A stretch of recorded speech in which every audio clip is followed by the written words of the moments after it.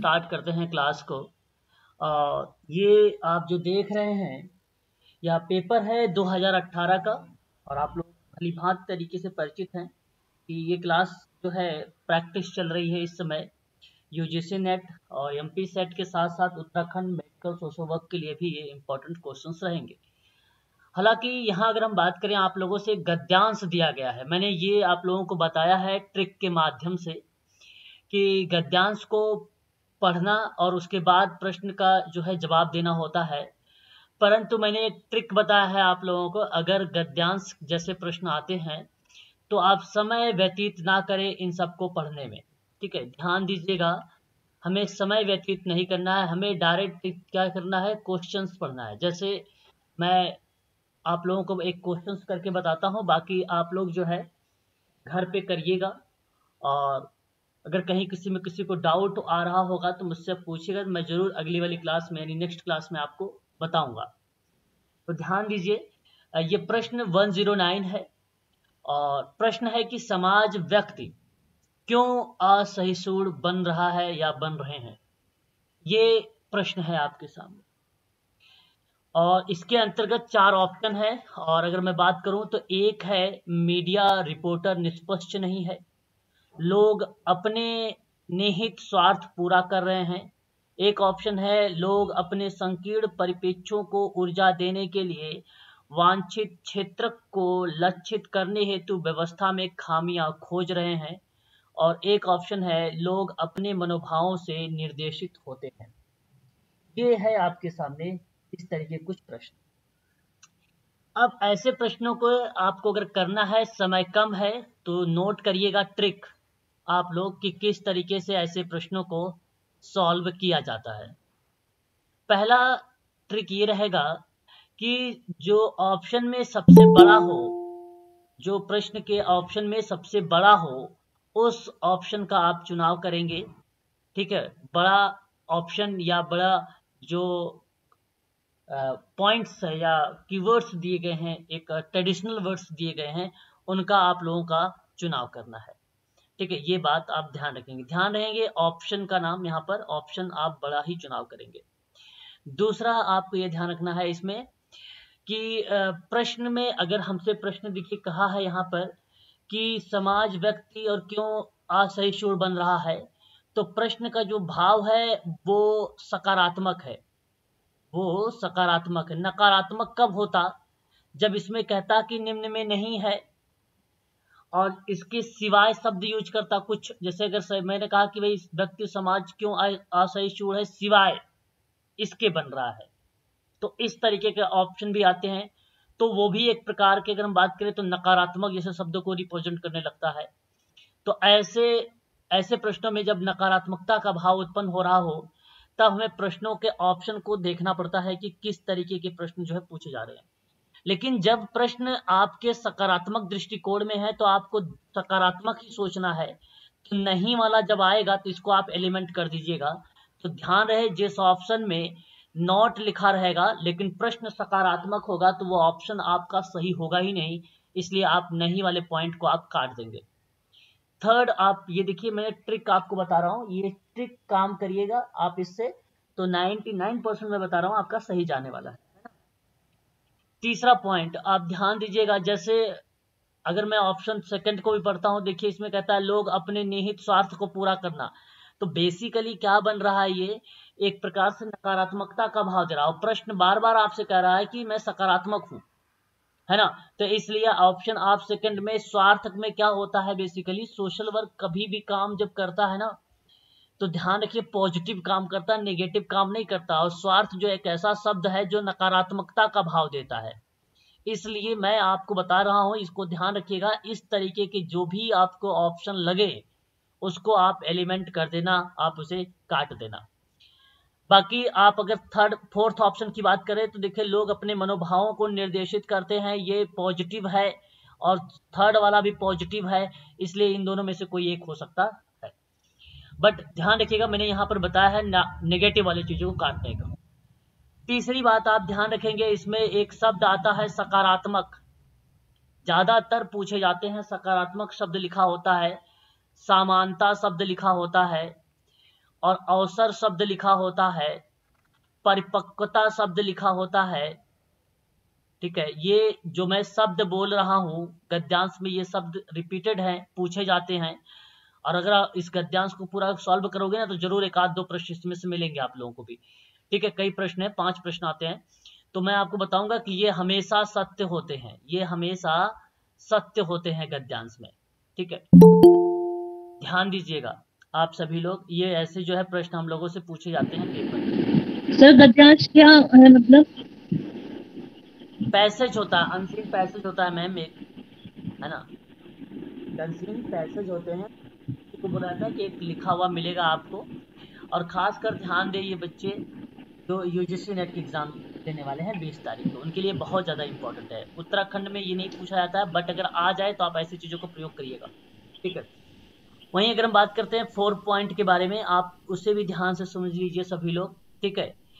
जब इस तरीके के चार ऑप्शन होते हैं और उसके बाद कूट दिया होता है, जिस कूट में उपरयुक्त सभी होता है, ठीक है वो ज़्यादातर अगर मैं बात करूँ आपसे तो वो सत्य माना जाता है।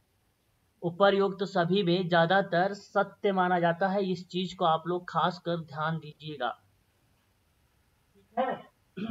बताइए एक बार। बताते रहिए भाई जी सर। हाँ ताकि मुझे भी लगे कि आप लोग सर आप सुन रहे हैं अच्छे से है ना? वहीं अगर हम बात करते हैं तो एक और पॉइंट के बारे में कि इसमें और एक पॉइंट क्या आप उसको करेक्ट कर सकते हैं, ठीक है? जैसे अगर हम बात करें आप लोगों से, आपने ऑप्शन में भी देखते होंगे कि उपरयुक्त सभी नहीं लिखा होता है। उपरयुक्त सभी नहीं लिखा होता है। तो ऐसे कंडीशन पे ना एक, दो, तीन करके आता है, या एक, तीन आ जाएगा, या आपका तीन, चार आ जाएगा, इस तरीके से कूट दिए होते हैं। ऐसे प्रश्नों में अगर मैं आपसे बात करूँ तो जिस ऑप्शन में थर्ड वाला हो, यहाँ पे जिस ऑप्शन में थर्ड वाला हो, उनका आप पहले से ही चुनाव कर ले। थर्ड वाला पॉइंट जो होता है प्रोबेबिलिटी ज़्यादा होती है, ये हर ऑप्शन में, यानी क्वेश्चन करेक्ट जाने में पॉसिबिलिटी इनकी ज़्यादा होती है। थर्ड वाले का चुनाव कर लीजिए। और जैसे एक और दो है तो एक और दो यहाँ पर एक है, यहाँ पर भी एक है। तो आप समझ गए हैं इस बात से कि दो वाला पॉइंट जो है आपका सही नहीं है, ठीक है? और संख्या भी अगर मैं बात करूँ, जैसे यहाँ पर अगर मैं और भी लिख सकता था, एक और चार, ठीक है? तो दो देख सकते हैं आप लोग कि देव, जो टू लिखा हुआ है, वो केवल एक ही में है, इसलिए आप इसको भी काट दीजिएगा, ठीक है? तब, अब आपके सामने देखेंगे तो one two three four point में है तो जिसमें वन और थ्री आ रहा तो ये आपका करेक्ट हो जाएगा। ठीक है ऑप्शन नंबर थर्ड तो ज़्यादा पॉसिबिलिटी थर्ड की होती है और उसके बाद आपको आइडेंटिफाई करना पड़ेगा, एक रेशियो बनाना पड़ता है कि पहला सही है कि दूसरा सही है, पहला दूसरा, ये चारों ऑप्शन को हमें थोड़ा सा ऑब्ज़र्व करना पड़ता है। उस हिसाब से हमें जवाब देना पड़ता है। या तो फिर आप क्या करें, या तो फिर इसको ऑप्शन में लिखे गए हैं, इनको यहाँ पर पढ़ें। या तो आप इनको यहाँ पर पढ़ें। और जब आप पढ़ेंगे तो उनके ऑप्शन को पढ़ें, ना कि उनके प्रश्नों को पढ़ें। तो अगर असहिष्णुता लिखा यहाँ पर भी, असहिष्णुता यहाँ पर भी, असहिष्णुता जहाँ जहाँ लिखा हुआ है, उस पर आप पहले डेडलाइन कर लीजिए। अब उसके बाद आपने देखा असहिष्णुता लिखा हुआ है, और प्रश्न में यह कहा गया है कि लोग अपने संकीर्ण परिपेक्षों को ऊर्जा देने और वांछित संकेत लक्ष्यों को पूरा करने की व्यवस्था की खामियाँ की खोज करता है। अब ऐसे ही आप लोगों को मिलेगा, है ना? खोज करता है या इस तरीके के कोई ऐसे शब्द मिलेंगे जो आपको बताएँगे कि ये करेक्ट है। जैसे प्रतीत होता है कि लोग इतने असहिष्णु हो गए हैं कि वे व्यवस्था और खामियाँ खोजते ही दिखाई देते हैं, है ना? तो ऐसे में अगर मैं बात करूँ तो यहाँ जो खोजना शब्द लिखा है, वहाँ पर भी थर्ड ऑप्शन में लिखा था, इसलिए आप ऑप्शन थर्ड का चुनाव कर ले। तो ये ट्रिक है। इसी तरीके से हम ऐसे प्रश्नों को सॉल्व करते हैं कम समय में। ठीक है, बस इतनी चीज़ आपको ध्यान रखना है। क्लियर है? और वैसे अगर मैं आपको बात करता हूँ एक प्रश्न में, जैसे कि प्रश्न को लेकर भी चलता हूँ तो आप देखिए, यहाँ पर वन वन ज़ीरो है, ऑप्शन टू आपका सबसे बड़ा है, इसलिए ऑप्शन सी, बी आपका करेक्ट है, राइट है ये, गलत नहीं है। अगर आप पढ़ेंगे भी, तब भी आपको पता चल जाएगा, है ना? यहाँ पर अगर मैं बात करता हूँ तो यहाँ देखिए वन जो है आपके ट्रिपल वन है, इसका सही जवाब क्या होना चाहिए? आपका बी करेक्ट होगा ट्रिपल वन का। ये भी ऑप्शन बी ही करेक्ट है, क्योंकि सबसे बड़ा है। मैं कुछ पढ़ नहीं रहा हूँ इसमें, केवल मैं ऑप्शन को बड़ा देख रहा हूँ, बस बस लगा के चले, चलता जा रहा हूँ। है ना? करेक्ट है ये। फिर अगर मैं बात करता हूँ वन वन टू में, ठीक है? वन वन टू में तो आप देखिए तो यहाँ पर ऑप्शन फोर बढ़ा जा रहा है, इसलिए ऑप्शन फोर आपका करेक्ट हो जाएगा। ठीक है? यहाँ एक ट्रिक और नीचे लिख लीजिएगा, स्वयं शब्द वाला भी सत्य होता है हमेशा। स्वयं शब्द भी आप लोग एक ट्रिक में वहाँ पे मेंशन कर लीजिए जहाँ पे आपने समानता वगैरह शब्द परिपक्वता लिखा है। वहीं पर आप लीजिए स्वयं शब्द वो भी ऑप्शन हमेशा करेक्ट जाता है। ठीक है? चलिए। सर पिछला वाला जो क्वेश्चन था उसमें तो ऊपर क्वेश्चन में नहीं यूज़ किया गया था। देखिए प्रश्न में नहीं है ना? हमने ये हाँ। बताया है कि हमें ट्रिक हमने यहाँ पे पाँच छह ट्रिक बताए हैं। ये एक ट्रिक पर हमने ये सारी बातें नहीं बताई है। हमने ये पाँच छह ट्रिक बताए हैं है ना? तो नॉट अगर यूज़ किया है इस प्रश्न में नॉट यूज़ किया है प्रश्न में तो प्रश्न का आधार बताता है। जैसे मैंने आपको ट्रिक बताया अब मैं थोड़ा समझा भी देता हूँ आपको अगर आपको लग रहा है ऐसा तो मैं आपको बताता हूँ। कौन सा प्रश्न था बताइए जरा एक बार? कहा इससे ऊपर है? ये वाला प्रश्न है है ना? सर वॉइस क्लियर नहीं है। नहीं सर सही है। मैं आपसे कह रहा हूँ कि क्या असहिष्णुता की समस्या का कोई विकल्प नहीं है? अब प्रश्न नहीं कह रहा है। प्रश्न में नहीं है। क्या कोई विकल्प नहीं है? आप सोचिए सिंपल सी बात। अब एक अपनी लाइफ को रिलेट करके सोचिए, है ना? उसके बारे में समझिए। प्रश्न कहता है कि नहीं, या सभी समाजों में हमेशा रहता है। भाई, कहता है इसका मतलब कि क्या भाई, सहिष्णुता समस्या का कोई विकल्प नहीं? क्यों भाई, विकल्प क्यों नहीं हो सकता है? प्रश्न का पैटर्न मैंने कहा, प्रश्न के पैटर्न को समझने का प्रयास करें। हाँ प्रश्न के पैटर्न को समझने का प्रयास करें। अच्छा आप लोगों में से जानते तो पहली बात तो ये, ऐसे प्रश्नों में आप लोगों को वो चीज़ें समझ में आनी चाहिए थोड़ी सी वर्ड मीनिंग्स वगैरह। असहिष्णुता क्या है? असहिष्णुता?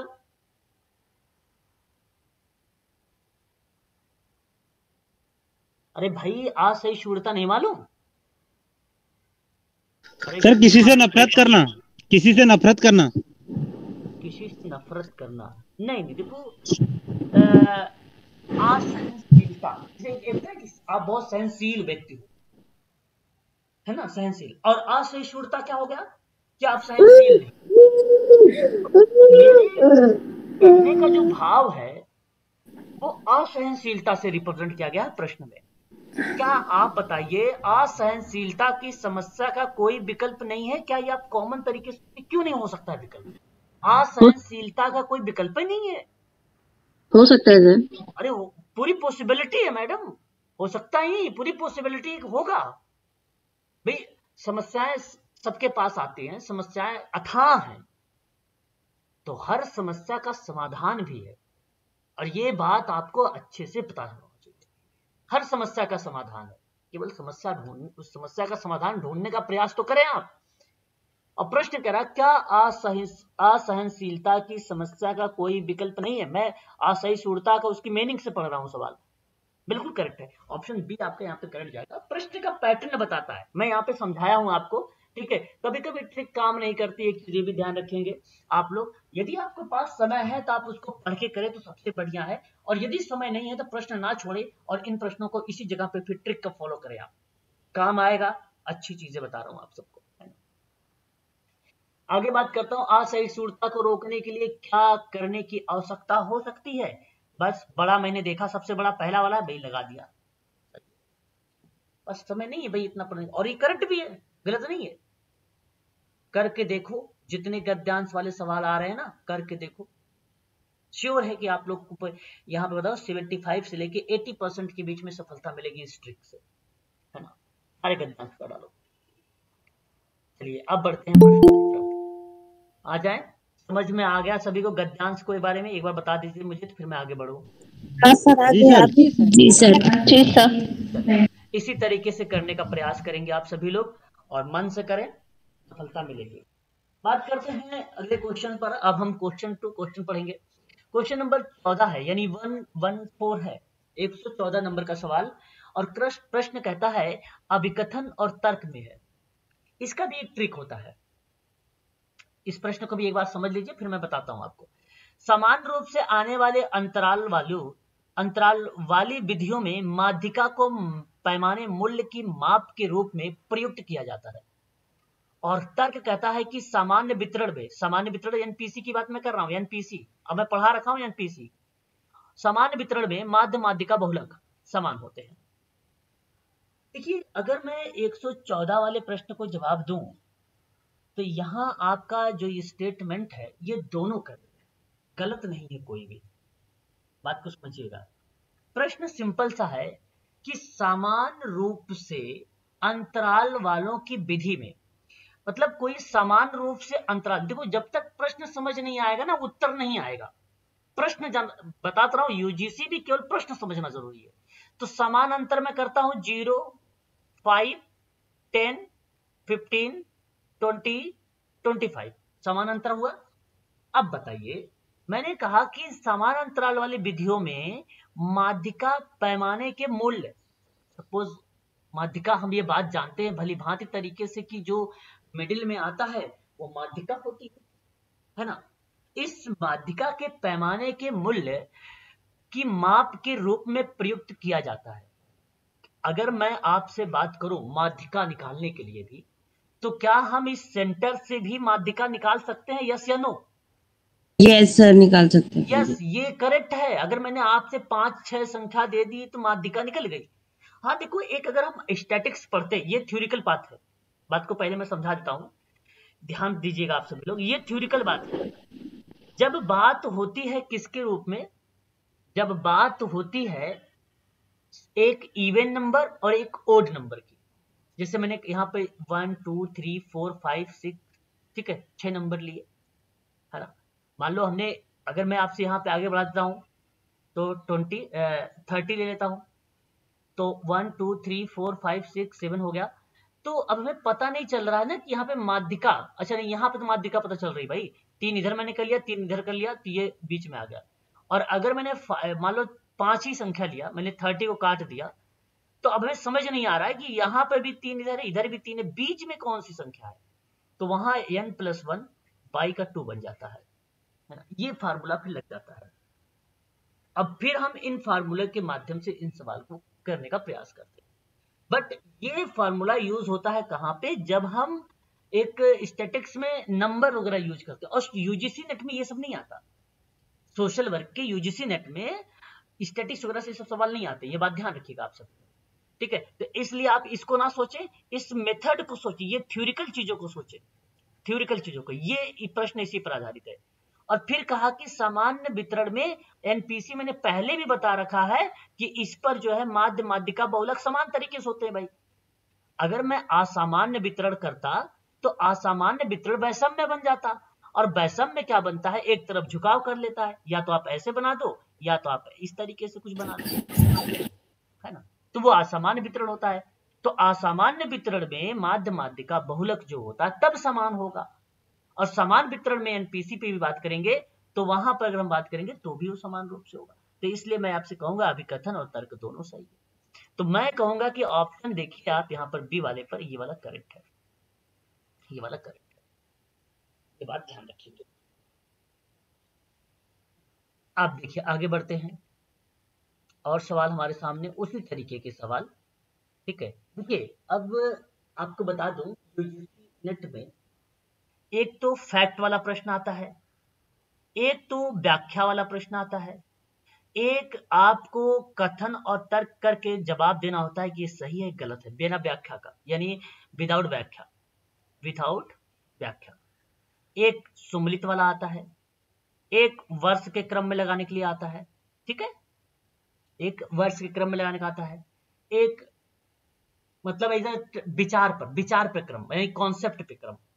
है ना विचार पर क्रम विचार पर क्रम है ना ये बात आप ध्यान रखेंगे। तो इन चीज़ों को आप थोड़ा सा ये प्रश्न का पैटर्न नहीं ये तो मैंने कई बार बता भी चुका हूँ आप लोगों को आप पेपर देख भी रहे होंगे आपको ये पता भी चल रहा होगा है ना किस टाइप के प्रश्न आते हैं। अब देखिए प्रश्न का पैटर्न व्याख्या वाला नहीं आ रहा है इस, इस बात को भी ध्यान रखिए। तो अभिकथन कहता है कि समकालीन समाज में भूमिका द्वंद्व जो होता है अत्यंत ही सामान्य होता है।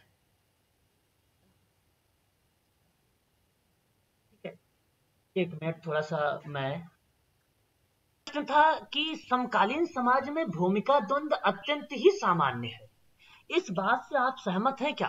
देखिए जब तक आप प्रश्नों को मैं बताऊँ जो प्रश्न समझ में ना आए संधि विच्छेद आप लोग जानते होंगे सभी बच्चे उन शब्दों का संधि विच्छेद करना शुरू कर दीजिए आपको सारी चीज़ें पता चल जाए हाँ, सारी चीज़ें। तो जरा मुझे एक बार आप ये बताएँ प्रश्न आपके सामने और कहा जा रहा है आपसे कि समकालीन समाज में भूमिका द्वंद अत्यंत ही सामान्य है। इस बात से आप सहमत हैं? क्या ये करेक्ट है? बताइए। बताए बताए। होना चाहिए सर। सर बताता हूँ मैं देखो भूमिका द्वंद जो होता है ना जब उनकी नौकरी या स्थिति से संबंधित कोई व्यक्ति पर असंगत मांग रखी जाए। क्या रखी जाए? असंगत मांग रखी जाए। तो भूमिकाओं के बीच में संघर्ष सफलता तक पहुँचने की मानवीय इच्छाओं के कारण शुरू हो जाता तो बेसिकली द्वंद कब होता है? यानी कोई संघर्ष हो रहा होगा तभी तो द्वंद हो रहा है। यस द्वंद कब होता है? अगर मैं आपसे बात ही करूँ आप लोग मुझे जरा बताएँ। संघर्ष के साथ होता है सर? जी? संघर्ष के साथ द्वंद होता है? हम्म। समझ नहीं पा रहा हूँ मैं। और बताएँ कोई?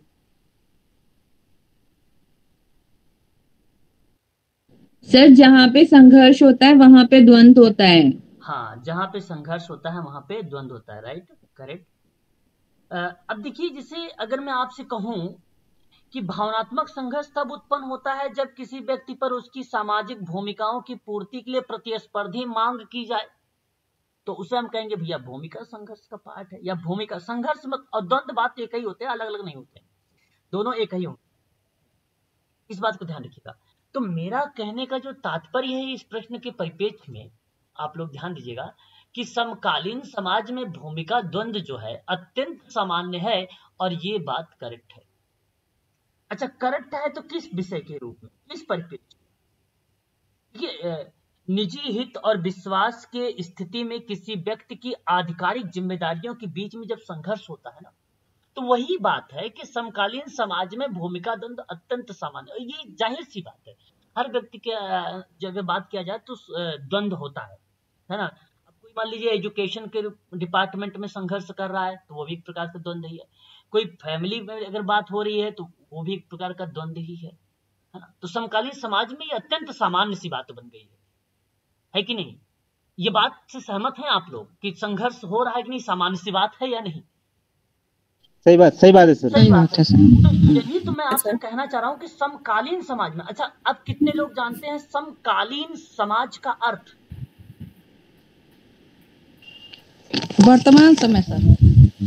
जो आज एकदम प्रासंगिक हो यानी आधुनिक इतिहास के कुछ निश्चित पॉइंट ऑफ़ व्यू से संबंधित हो वही समकालीन।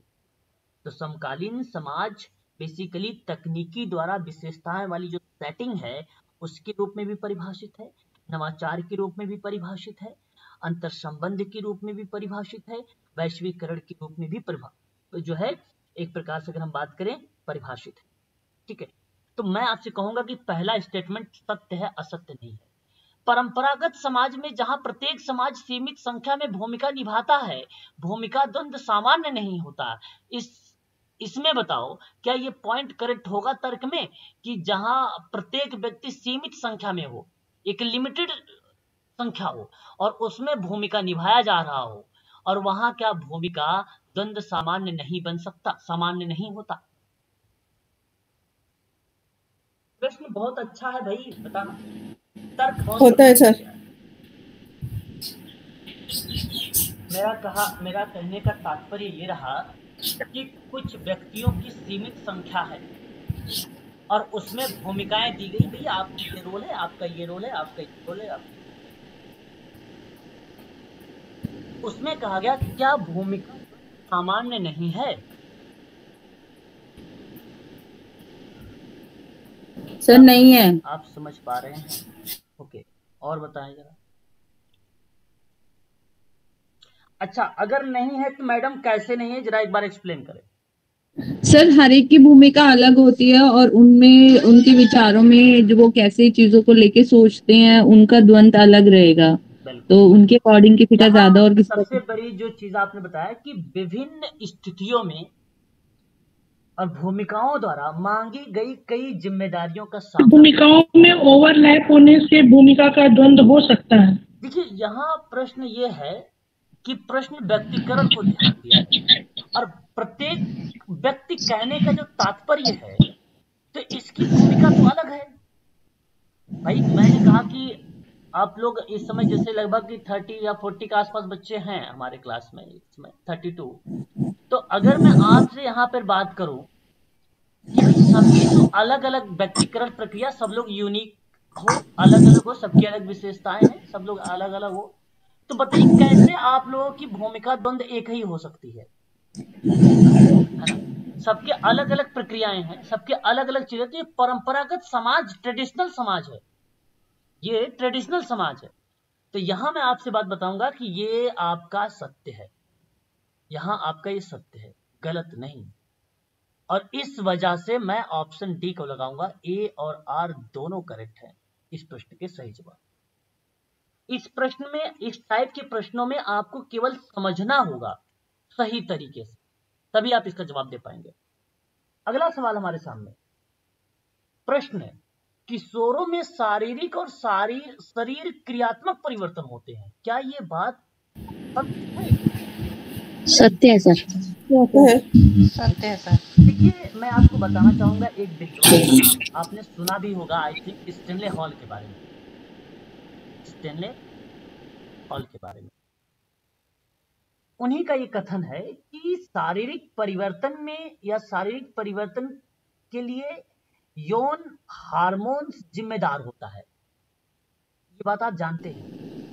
लड़के अधिक अगर हम बात करेंगे तो टेस्टोस्टेरोन एक हार्मोन होता है इसकी भूमिका होती है। उत्पादन करता है लड़की का शरीर अधिक जो है एक प्रकार से अगर हम बात करें जिस तरीके से उत्पादन में टेस्टोस्टेरोन का जो भूमिका थी लड़कों में तो लड़की में एस्ट्रोजन की भूमिका होती है। लड़की में एस्ट्रोजन की भूमिका होती है। और ये दो शब्द अगर आपको पता है कि ये प्रश्न आप कर लीजिए। तो किशोरों में शरीर और शारीरिक जो है शरीर क्रियात्मक परिवर्तन होते ये बात सत्य है। और किशोरावस्था तनाव और उग्र, उग्रता से भरी होती है। ये भी सत्य है सर ये भी सही है सर। किशोर अवस्था के बालकों को पढ़ाने में बड़ी कठिनाइयों का सामना करना पड़ता है। मैंने कई बार आप लोगों को बता चुका हूँ। ऐसे उम्र में जो 12 से 18 वर्ष के आयु के बच्चे होते हैं। चंचल होते हैं ये अति चंचल बच्चे होते हैं है ना? तो समझा नहीं कोई चीज़ पॉजिटिव चीज़ें अगर आप उनको बताओ अपने घर के बच्चों को ही ले लो, है ना? तो वो इतना एक्टिव होकर आपकी बातों पर ध्यान नहीं देते हैं। बस उनको वो चीज़ें जिस बातों से वो खुश रहे जिन चीज़ों से वो खुश रहे ठीक है? तो इसलिए मैं आपसे कहता हूँ कि यहाँ उसी अवस्था को स्टनहॉल ने कहा कि एक तनाव और जो है उग्रता की अवस्था है, उग्रता की अवस्था है है। यहाँ आपकी बात अभिकथन और कारण तर्क दोनों आपके करेक्ट हैं?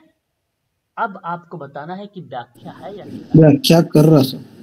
बिल्कुल व्याख्या कर रहा है क्योंकि ऊपर जो है शरीर क्रियात्मक परिवर्तन जो बताया जा रहा है वो किशोरावस्था तनाव और उग्रता से भरी अवस्था का एक प्रकार का लक्षण है जो कि ऑप्शन नंबर बी बता रहा है। यह आपका करेक्ट बहुत बच्चे क्या करते हैं? देखिए आपको अगर नेट क्रैक करना या एग्ज़ाम क्रैक करना है तो इन प्रश्नों को सत्य करो। क्योंकि मैं आपको बता दूँ नब्बे प्रतिशत बच्चे इस प्रश्न को समझ ही नहीं पाते हैं। और ऐसे प्रश्न को समझ नहीं पाते और जानते हैं कि वो क्या करके आते हैं। वो सोचते हैं एक माइंड में ट्रिक बना रखे हैं कि ऊपर अगर शरीर लिखा हुआ है तो उससे संबंधित नीचे शरीर है तो फिर तो ठीक है व्याख्या है। ये ढूंढते हैं और फिर यही लगा के आ जाते हैं व्याख्या वाला। और जो बता दूँ आपको यही नंबर डिडक्ट करता है आपको। दो नंबर जाएँगे। यूजीसी के लिए तो भाई दो नंबर है एमपी सेट के लिए तो चार नंबर है। है ना? कितनी दिक्कतें हैं? यस सर भाई तो आप ज़रूर ध्यान करें प्रश्न को केवल समझे। मैं यहाँ आपको केवल प्रश्न को ही समझाने का प्रयास कर रहा हूँ। जल्दबाजी ना करें। अभी और भी पेपर आएँगे वहाँ पे कर लेंगे हम लोग की प्रगति। एक सौ सत्रह। अभिकथन कहता है कि गरीब व्यक्ति अब ध्यान सुनिए प्रश्न को पढ़िए। गरीब व्यक्ति परिवार तथा समुदाय को अपना शिकार बनाते हैं। परिवार तथा समुदाय को अपना शिकार बनाती है। है आप जरा गरीबी कह रहा है गरीबी व्यक्ति परिवार तथा समुदाय को अपना शिकार बनाता है। है सत्य है सर। सत्य है। सत्य असत्य सत्य। सत्य। सत्य बिल्कुल। तो देखो गरीब व्यक्ति ना परिवार और समुदाय को अपना शिकार बनाती है ऐसी बात तो मैं आपसे कहूँगा कि ये पॉइंट आपका करेक्ट है। है। फिर कहता है गरीब प्राय प्राकृतिक सामाजिक आर्थिक दोनों सत्य और व्याख्या भी है सर। जी? ये भी सही है ये भी सही दोनों सत्य भी है और व्याख्या भी है सर। ये सर ये एक बार मुझे पढ़ने तो दिया करो आप लोग पढ़ सर पढ़ो पढ़ो। मैं कह रहा हूँ कि गरीब प्राय प्राकृतिक सामाजिक आर्थिक राजनैतिक शक्तियों के आगे अपने को असहाय महसूस करते हैं। ये भी ये ऐसा आपको लगता है है, कि जो गरीब व्यक्ति है जहाँ आप देख रहे हैं उसी परिप्रेक्ष्य में गरीबी को थोड़ा सा बढ़ाकर बोला जा रहा है कि प्राकृतिक सामाजिक आर्थिक राजनैतिक ये शक्तियाँ जो हैं वो आगे अपने को असहाय महसूस करने लगती है जो गरीब व्यक्ति तो उनके लिए बन जाता है। ये ये कारण के रूप में आता है। क्या ये बात लगती है आपको कि ये एक निष्पक्ष के भाव में या एक नकारात्मकता के भाव में गरीब व्यक्ति के लिए सामने आ जाती है ये बातें? आपको लगता है कि गरीब व्यक्ति अगर कोई है तो उसका सामाजिक पक्ष कमज़ोर हो सकता है उसकी आर्थिक पक्ष कमज़ोर होगी उसकी राजनीतिक पक्ष जी सर, कमज़ोर बिल्कुल। होगा, प्राकृतिक पक्ष कमज़ोर होगा। होगी सर। होगा ना कमज़ोर। बस यही बात आपको ध्यान रखना था और यही आपका स्टेटमेंट सत्य अब बात ये है कि व्याख्या है या नहीं? मैंने कई बार आप लोगों से बताया भी है ऐसे प्रश्न जब ना समझ में आए व्याख्या के लिए तो वहाँ पर क्योंकि अब क्योंकि लगाने का सर मतलब व्याख्या क्या भी। है? सर, व्याख्या भी है। व्यक्ति परिवार तथा समाज समुदाय को अपना शिकार बनाती है तो मैंने कहा भैया भी होगा बनाती है क्यों शिकार बनाती है क्या रीजन रहा? मैंने कहा आपसे तो आपने कहा मुझे क्योंकि सर प्राकृतिक और सामाजिक आर्थिक राजनीतिक शक्तियों के आगे अपने को वो असहाय महसूस करने लगते इस वजह से सर गरीब व्यक्ति जो होते परिवार और समुदाय में अपना शिकार बना लेते उनको बना देते और ये रीजन जब इस तरीके के बैठने लगे एक पैराग्राफ के रूप में क्योंकि लगाने से तो समझ जाइए कि इसकी व्याख्या हो वरना इन दोनों की बातें अलग अलग बताने लगेंगी तो वहाँ पर व्याख्या आपकी नहीं। एक ट्रिक ये है। दूसरा ट्रिक यह है कि आपने जब इसका एक पढ़ा, अभी कथन। एक बार म्यूट हो जाइए प्लीज़ यार, एक कोई अनम्यूट है है ना? तो जब बात किया जाए कि भाई गरीबी के बारे में ऊपर में बात कही जा रही है, और नीचे उसके तर्क को भी, उसकी व्याख्या के आधार पर, उसके कारण को भी बताया जा रहा है कि ये रीजन है जो असहाय महसूस हो रहे हैं, तब भी व्याख्या आपका करेक्ट हो जाता है। तो यहाँ पर ऑप्शन डी आपका करेक्ट जाएगा। ए आर दोनों सही हैं, तथा आर ए की सही व्याख्या है। Option number D is the right answer अगला सवाल। प्रश्न को बहुत ध्यान से करिएगा, ठीक है? अभिकथन कहता है कि महिला और बाल विकास नीति को संरक्षात्मक विभेद कहा जाता है। देखिए बड़ा अच्छा सवाल है। आपको जवाब देने हैं कि जो महिला और बाल विकास नीति है उसमें रक्षात्मक विभेद कहा जाता है। क्या ये बात करेक्ट है? सही है सर। सही सर सभी लोग सही बता रहे हैं। और भी कोई बच्चा? विभेद सर मुझे तो समझ ही नहीं आया। सर ये विभेद विभेद का अर्थ कुछ अलग बहुत बढ़िया। ये सही है और आर कोई बात नहीं बहुत। विचारों को प्रकट किया मैं भी आपको समझाऊँगा। ठीक है। ध्यान सर गलत है। बताइए सर। हाँ मैं बताता हूँ। देखिए ध्यान से सुनिए सर। देखो पहली बात तो हमें पता होना चाहिए कि संरचनात्मक विभेद क्या होता है। देखिए विभेद को हम रिलेट करते हैं भेदभाव से। भेद भाव से। है ना? तो इसका अर्थ संरक्षात्मक विभेद या भेदभाव कहता है कि उन लोगों के पक्ष में एक अधिकार या विशेषाधिकार प्रदान किया जाता है, जिन्हें उम्र के बाद से प्रताड़ित और भेदभाव किया गया हो। तो वो परिप्रेक्ष्य एक प्रकार से रिप्रेजेंट करता है। हालाँकि महिला और बाल विकास की भूमिका यहाँ पर संरचनात्मक विभेद के रूप में कैसे कही जा सकती क्या आप महिला और बाल विकास जो नीति है, सोचिए कॉमन सेंस लगा के क्या वहाँ पर उनके साथ संरचनात्मक विभेद का नाम हम देना उचित समझेंगे? या है? आपने कभी नहीं पढ़ा होगा भाई ऐसे में कि महिला और बाल विकास नीति को संरचनात्मक विभेद कहा जाए। सर नहीं वो तो एक दूसरे के साथ पूरक होती है ना मतलब पॉजिटिव रहती है विभेद में तो नहीं होती तात्पर्य आप शायद अभी भी नहीं समझ पाए। संरचनात्मकता का मतलब अगर इंग्लिश देख लीजिए ताकि आपको और अच्छे से क्लियर हो जाए। ऊपर इंग्लिश भी है ज़्यादा ये ना कि सुरक्षा सर सुरक्षा मतलब सुरक्षा। हाँ प्रोटेक्शन प्रोटेक्टिव तो डिस्क्रिमिनेशन आप अच्छा अच्छा अगर आप ही सोचिए डिस्क्रिमिनेशन क्या होता है? डिस्क्रिमिनेशन सर भेदभाव होता है। हाँ भेदभाव क्रिया बहुत बच्चे ने बहुत अच्छा शब्द दिया है। अब मैं यहाँ पे नोट कर रहा हूँ लिख लीजिए। भेदभाव करने की प्रक्रिया। आप बताइए क्या ये शब्द सही लग रहा है कि women and child development policy is called भाई उनकी रक्षात्मक भेदभाव करने की प्रक्रिया है या संरक्षात्मक? गलत है सर गलत है। गलत है गलत है। ये। नहीं करता है? तो मैं पूछ रहा था आप लोगों से तो फिर कैसे आप लोग बता रहे हो कि सही है? मैंने कहा आपसे कि अगर आप प्रश्न सही से नहीं समझेंगे तो गलत करके आएँगे। जो प्रश्न ना समझ में आए उसका आप संधि विच्छेद करना शुरू करें। बस ये उन शब्दों का। अब देखिए तर्क। कहता है कि यह केवल महिलाओं के लिए लाभप्रद है। ये भी ये गलत भी गलत है। दोनों ये भी गलत है। बिल्कुल। ये तो साफ़ शब्दों में आया मैंने ट्रिक भी बताया कि जब कभी भी केवल शब्द आता है हमेशा शब्द आता है तो हम ज़्यादातर क्या करते ट्रिक का इस्तेमाल करते हैं। अगर यहाँ पर देखा जाए तो आप लोगों ने जो जवाब मुझे दिया है, दोनों गलत बताया है और दोनों गलत हैं और सही जवाब है ऑप्शन नंबर बी ए और आर दोनों गलत है। ठीक है? अब देखिए यूजीसी के जो बच्चे होते हैं, क्या सोचते हैं? ऐसा हो ही नहीं सकता कि सोशल वर्क एनटीए यूजीसी ने दोनों गलत दे। जानते सब है ये बात। कहेंगे अच्छा चलो इसको लगाते हैं। पहले वाले सही कर देते दूसरा वाला शायद गलत ही होगा। इस तरीके के सोचते मानसिकता वाले हैं ऐसे। पहला वाला सत्य होगा दूसरे वाले का असत्य भाई केवल लिख दिया है महिला है खिलाफ लाभप्रद लगा दो। वो पेपर देने नहीं जाते वो पेपर देखकर एग्जामिनर के दिमाग पढ़ने जाते हैं वो लोग कि एग्जामिनर किस तरीके से सवाल बनाया है।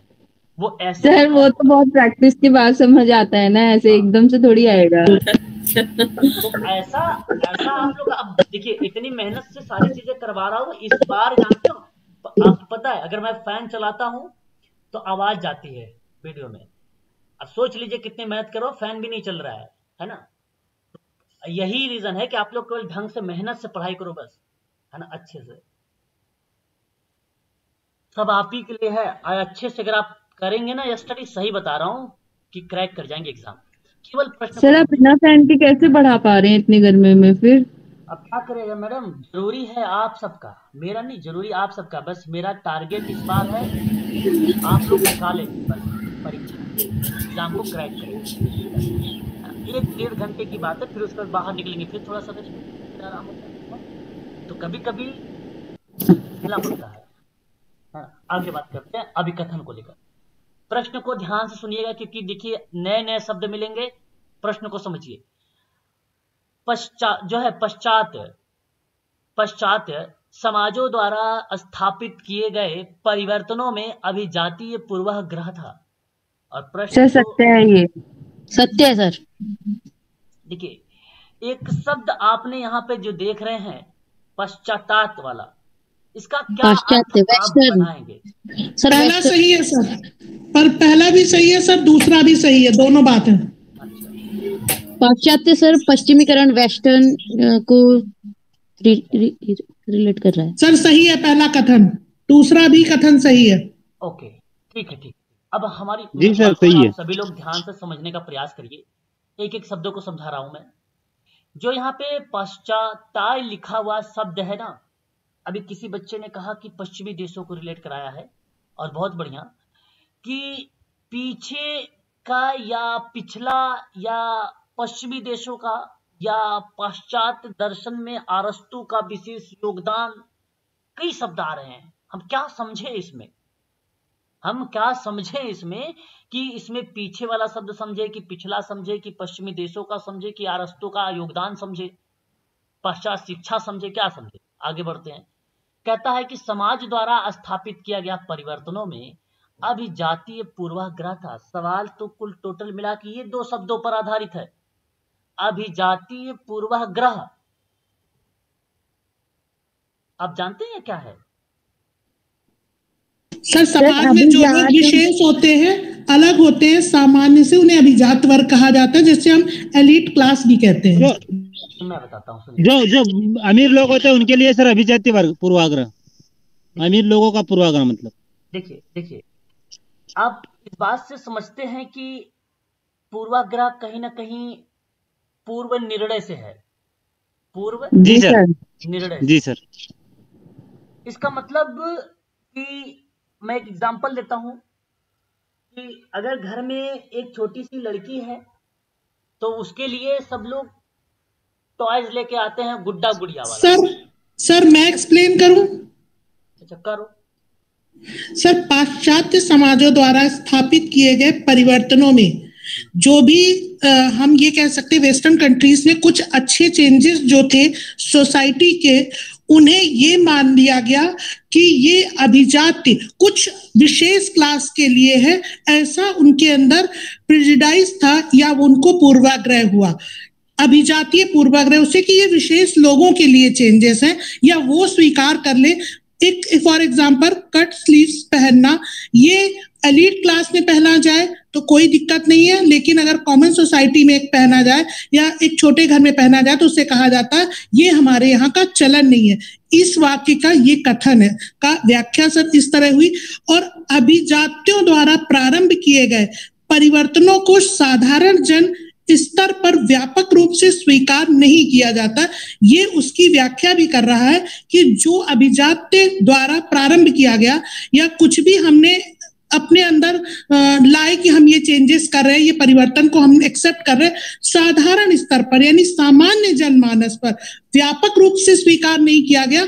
छुपे छुपे रूप से ज़रूर कहीं कहीं स्वीकार किया गया, लेकिन सभी लोग स्वीकार करें, या मिडिल क्लास या मिडिल लोअर क्लास या लोअर क्लास स्वीकार करें, ऐसा नहीं हुआ, क्योंकि ऊपर वाली व्याख्या का नीचे वाला बता रहा है। अच्छा। ठीक है, आपने अपने विचारों को प्रकट किया, ठीक है, बढ़िया है। ठीक है, वही चीज़ें मैं बता रहा था, एक गुड्डा गुड़िया का एग्ज़ाम्पल बच्चे, लड़कियों लड़के का। ठीक है, बढ़िया है, ठीक है गुड है ना? तो यहाँ जो जवाब गया है भाई करेक्ट है। इसका जो सही ऑप्शन होगा दोनों करेक्ट होंगे पहली बात। दोनों करेक्ट और व्याख्या भी होगी। और बात रही व्याख्या की है ना? तो इसमें व्याख्या शब्द है ही व्याख्या का ऑप्शन ही नहीं है। इसलिए ऑप्शन नंबर थर्ड सही रहेगा। ठीक है। और बेसिकली अब एक चीज़ आप यहाँ पर भी ध्यान दें सभी लोग है ना? यहाँ जो तर्क कहता है कि अभिजातों द्वारा प्रारंभ किए गए परिवर्तनों को साधारण जन स्तर पर व्यापक रूप से स्वीकार नहीं किया जाता है है ना? ये एक प्रकार से अभिजात वर्ग जो है, जो अभिजातियों के द्वारा बात की गई है कुलीन वर्ग को लेकर जो बातचीत हो रही है, उस पर कहा गया कि परिवर्तनों का साधारण जन, है ना? परिवर्तन का एक कॉमन अंतर, एक कॉमन सा चेंजेस की बात सर अभिजात वो हुए किया जा रहा है तो मैं आपसे कहूँगा कि दोनों बातें में अंतर है है ना? ऊपर में कहा गया कि समाज द्वारा स्थापित किए गए परिवर्तन अभिजात पूर्वाग्रह को सर अभिजात वर्ग वो हुआ जो लेखक है पत्रकार है या बुद्धिजीवी वर्ग है उन्हें हम एलीट क्लास या अभिजात वर्ग भी कहते हैं। मेरा यहाँ जो कहने का तात्पर्य है मैं आपसे ये बताने का प्रयास कर रहा हूँ कि अभिजात वर्ग एक इस तरीके का रूप है जैसे सरकार का एक रूप है, जिसमें लोगों का एक छोटा और विशेषाधिकार प्राप्त है। और उन वर्गों के लोगों का शासन होता है जिन्हें हम अभिजात वर्ग कहते हैं। हम उनको रिलेट करके बता रहे हैं और उसी पर संबंधित सवाल है कि अभिजातों द्वारा प्रारंभ किए गए परिवर्तनों का साधारण जन स्तर पर व्यापक लेवल पर स्वीकार नहीं किया जा सकता। जबकि अभिजात वर्ग कुलीन तंत्र के समान ही है। ऐसा नहीं कुलीन तंत्र के समान, उसी के समान है, जिसमें वे कुछ लोगों के हाथों में सत्ता रखते हैं। दो प्रकार की सरकारें हैं, कई महत्वपूर्ण तरीके से। देखा जाता है तो भाई कोई भिन्न मतलब अलग अलग है डिफरेंट डिफरेंट है। बट यहाँ पे दोनों स्टेटमेंट करेक्ट है। इस चीज़ को ध्यान रखें। लेकिन दोनों का जो भाव है, वो अलग अलग है। इस बात को ध्यान रखें अगर आप लोग यहाँ पर व्याख्या की बात कर रहे थे तो व्याख्या वाला स्टेटमेंट नहीं था। दूसरी चीज़ यूजीसी कभी ऐसा नहीं करेगा कि अगर मैं इस टाइप का प्रश्न दूँ तो मैं इस ऑप्शन में क्यों ना डालू कि यह व्याख्या है या नहीं है? मैं डालना चाहूँगा ज़रूर, अगर वैसा प्रश्न है तो। मैं डालना ज़रूर चाहूँगा उसमें कि व्याख्या पर पॉइंट डाला जाए।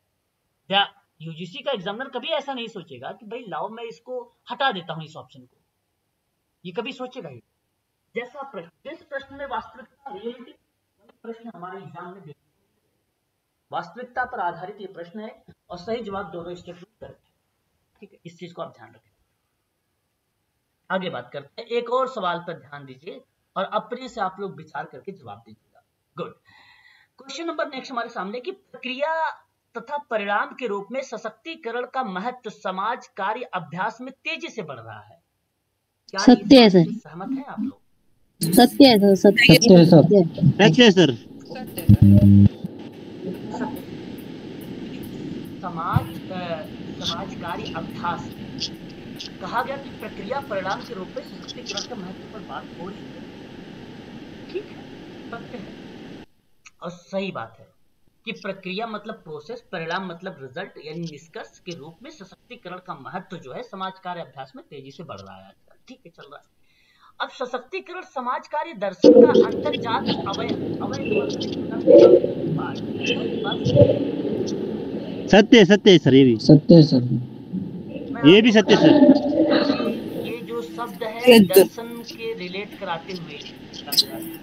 और समाज कार्य दर्शन अंग्रेज़ी का हिंदी रूपांतर सॉरी अंग्रेज़ी का रूपांतरण फिलोसफी शब्द ग्रीक भाषा शब्द से लिया गया फिला प्लस सोफिया फिला का मतलब होता है प्रेम और सोफिया का अर्थ होता है बुद्धिमत्ता। है ना? तो यानी सत्य और ज्ञान के अनवरत खोज करने की अगर बात होती है, वही तो दर्शन किसी भी विषय विशेष के संदर्भ में सत्य और ज्ञान के निरंतर खोज और इस संबंध में प्राप्त तथ्यों को वैज्ञानिक ढंग से प्रस्तुतिकरण। इन्हीं चीज़ों को रिप्रेजेंट करता है। आपको एक नाम मिलेगा हर्बर्ट बिस्नो का। शायद सुना भी होगा आप लोगों ने। जी सर। इन्होंने तीन मूल्य बताए हैं और बहुत इंपॉर्टेंट है। नाम याद आ गया है। तो इन तीनों को ध्यान रखेंगे। पेपर में आया हुआ सवाल है। तीन मूल्य। एक मूल्य इन्होंने बताया है प्रत्येक व्यक्ति अपने अस्तित्व के कारण मूल्यवान होता है। अपने अस्तित्व के कारण? मूल्यवान होता है। एक बार म्यूट हो जाइए। हाँ। दूसरी बात कहता है कि मानवीय कलेश अवांछनीय है। अवांछनीय कलेश निगेटिव कार्य। समझिए। इसका विरोध करना चाहिए। जहाँ तक संभव है, उसे कम करिए। यानी नकारात्मक भाव को कम करें। थर्ड समस्त मानव, व्यवहार मनुष्य के जैविक अस्तित्व और उसके पर्यावरण के एक बीच में परस्पर संबंध करने की क्रिया का परिणाम होता है। यानी मानव व्यवहार मनुष्य के जैविक अस्तित्व पर बात किसपे? जैविक की, जैविक अस्तित्व। जैविक अस्तित्व ये तीन तथ्य इंपॉर्टेंट और तीनों के तीनों पेपर में आ चुके हैं। ये ध्यान रखिएगा, हर्बर्ट विष्णु का नाम। आप लोग आगे बढ़ेंगे, एक और प्रश्न का चुनाव करेंगे। अगला सवाल हमारे सामने कहता है कि अभिकथन की समाज कार्य अभ्यास में शक्ति परिपेक्ष। पॉइंट ऑफ़ व्यू सेवार्थियों की सहायता करने में अधिक सामान्य रोग निदानोमुखी उपा निदानोमुखीकृत उपागम के विकल्प विकल्प के रूप में उभर कर आया है। प्रश्न क्या कहता है? सिंपल सवाल है कि समाजकारी जो प्रैक्टिस है, जो अभ्यास है, उनमें शक्ति परिपेक्ष सेवार्थी की सहायता करने में अधिक सामान्य रोग निदानोमुखीकृत उपागम के विकल्प के रूप में उभर कर आया है। क्या ये बात सही लग रही है आपको? बताइए। सही है सर। बिल्कुल सही बात है। सही है, सर। इसमें असत्य हो ही नहीं सकता। भाई ज़ाहिर सी बात है कि अगर आप प्रैक्टिस कर रहे हैं किसी व्यक्ति के साथ सेवार्थी के साथ समूह के साथ समुदाय के साथ तो निदानम मुखीकृत उपागम तो लगाएँगे ही लगाएँगे उसमें कौन सी बात है? ना काम करेंगे तो उस पर फॉलो होगा ही होगा सत्य है। शक्ति परिपेक्ष सेवार्थियों की समस्या और कमियों पर ध्यान केंद्रित करने की बजाय सेवार्थी की क्षमता प्रतिभा और संसाधनों पर बात करिए ना आप। क्यों सत्य सर। कोशिश कर रहे हैं आप? रिलेट भी कर रहा है सर। बिल्कुल। अब यहाँ पर व्याख्या होगी। यहाँ पर व्याख्या होगी इसलिए ऑप्शन नंबर आपका जो जाएगा इस प्रश्न का सही जवाब ऑप्शन नंबर बी करेक्ट होगा। अगला सवाल।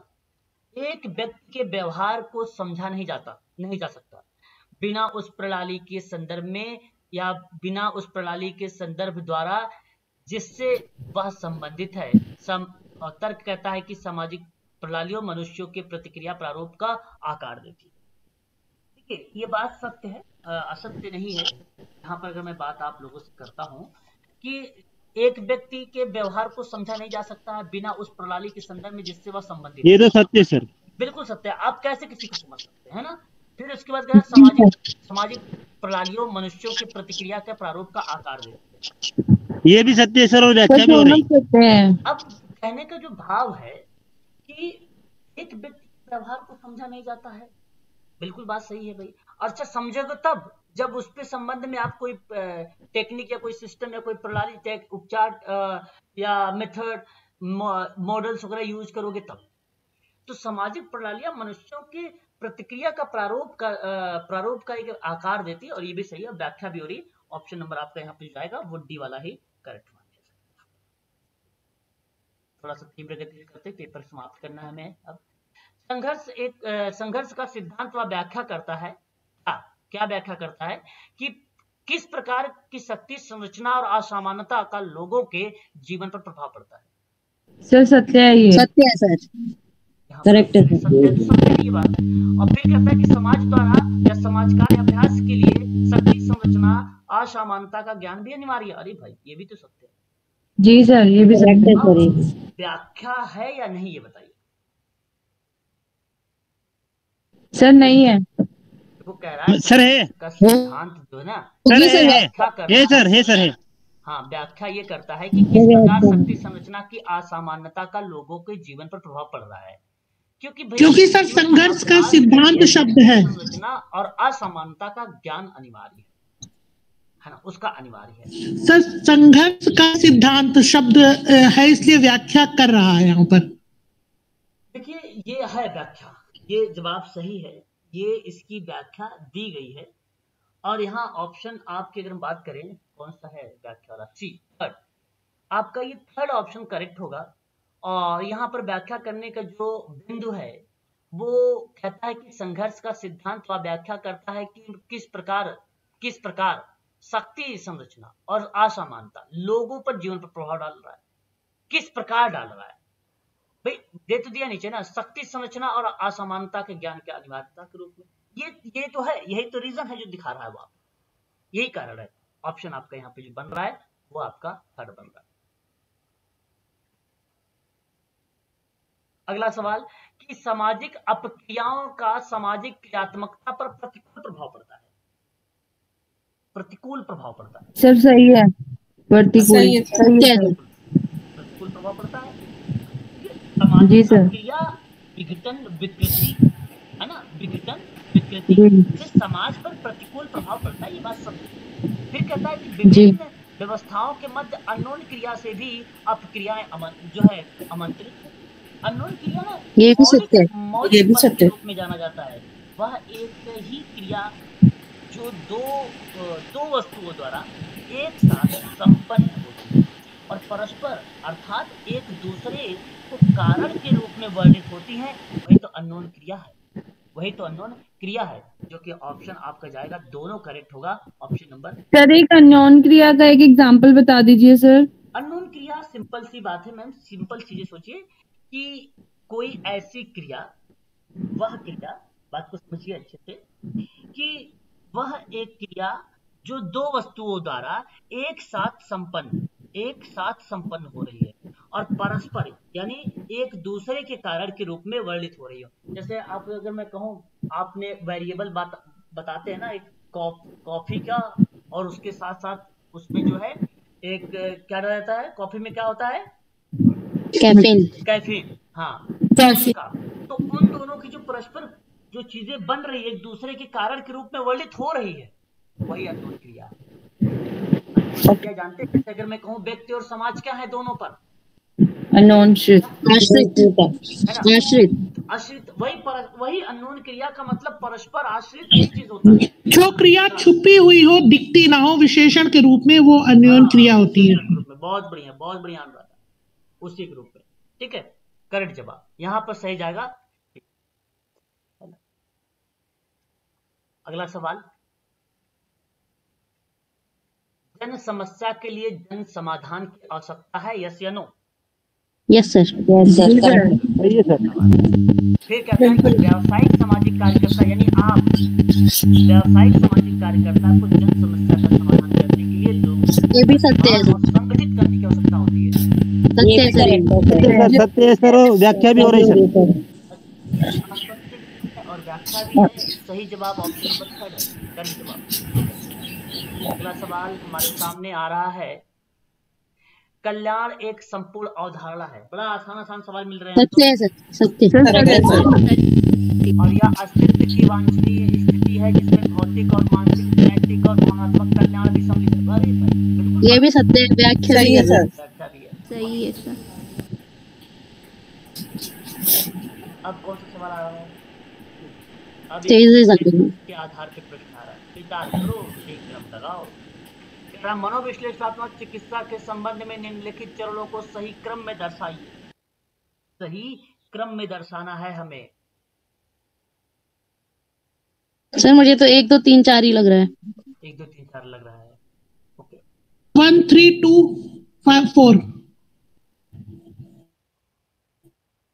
Sir एक बार इंग्लिश में भी दिखाना। हाँ यहाँ पर एक इंग्लिश इंग्लिश सर पहला पहला ही सही है पहला ही सही है सर। पहला ही सही है। One three two four. बात करते जाइए देखिए, समझिए सवाल को। सवाल हमारे सामने, कि मनोविश्लेषण चिकित्सा है ना? इस चिकित्सा में कुछ चरण दिए गए हैं। जैसे एक होता है प्रारंभिक चरण। क्या मैं प्रारंभिक चरण को पॉइंट नंबर एक में रखूँगा? जी सर। अब जिस ऑप्शन में एक मिल रहा हो तो ये सभी ऑप्शन एक आ रहे हैं। सभी में है सर। चलो सर दूसरा आगे बढ़ते हैं। फिर उसके बाद अगर मैं आपसे बात करता हूँ तो एक चरण आता है आपका जो है कॉन्सोलिजेशन के यानी एक प्रकार से सुदृढ़ीकरण। सुदृढ़ीकरण।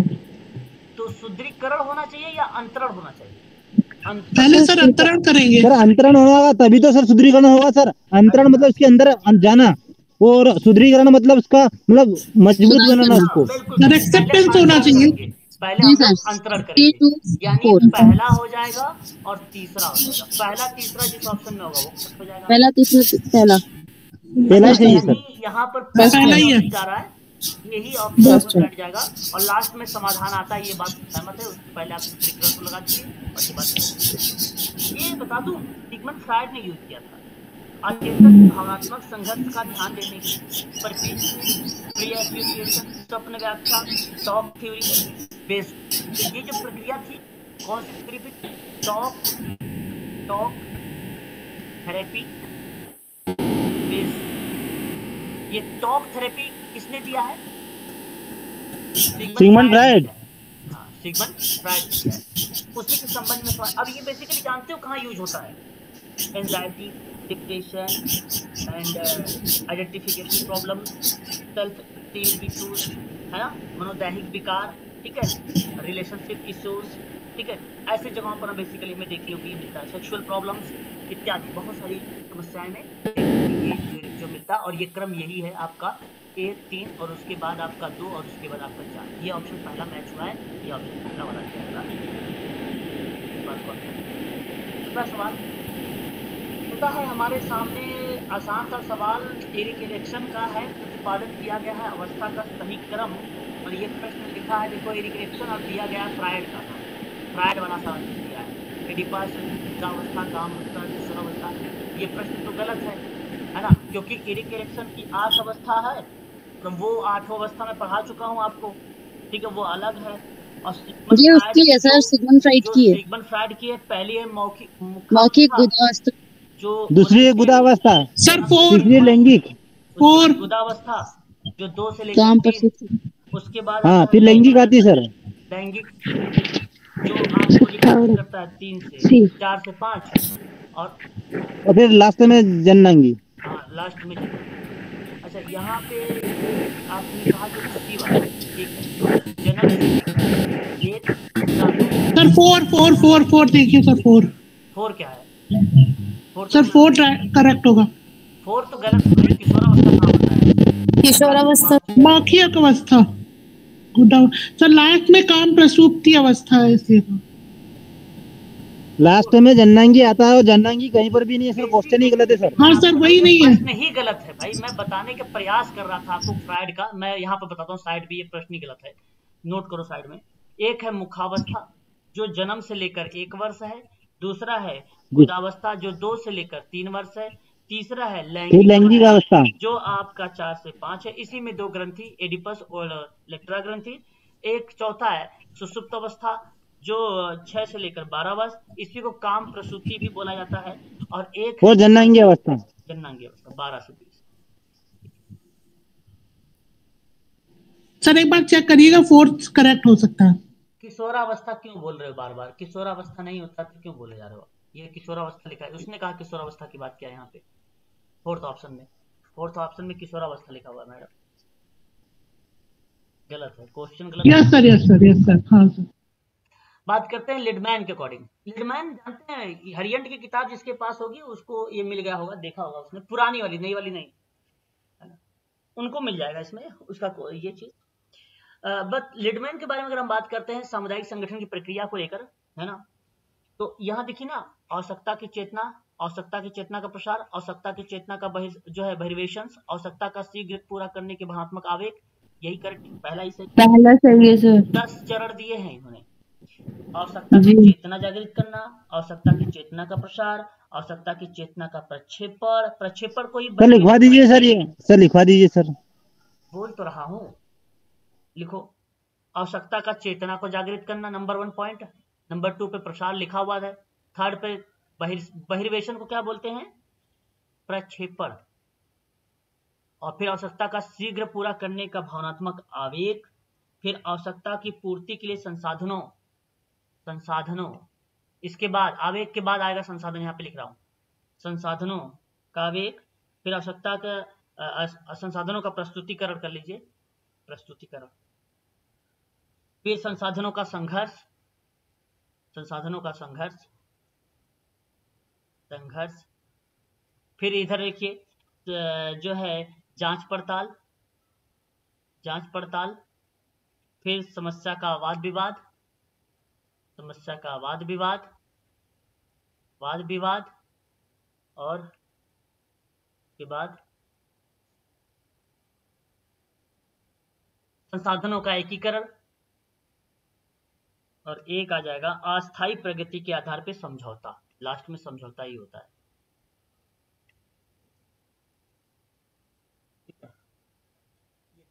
चंडरसन का सात है क्रॉस एक क्रॉस विद्वान है उसका छह है छह चरण। कम्युनिटी ऑर्गेनाइजेशन सर ये क्या लिखा है? समस्या? पॉइंट बोलिए। समस्याओं का संघर्ष। यहाँ पर ये पढ़ रहे हो? समस्या का संघर्ष। ये समस्या नहीं। ये समस्या जाँच पड़ताल के वाद नीचे वाद वाद विवाद वाद विवाद वाद विवाद अच्छा ऐसा करते हैं क्वेश्चंस रह जाएँगे अभी है ना? रोकते हैं थोड़ा सा। अभी क्लास चलाएँगे है ना? कुछ टाइम बाद। मतलब एट थर्टी क्लास चलेगी।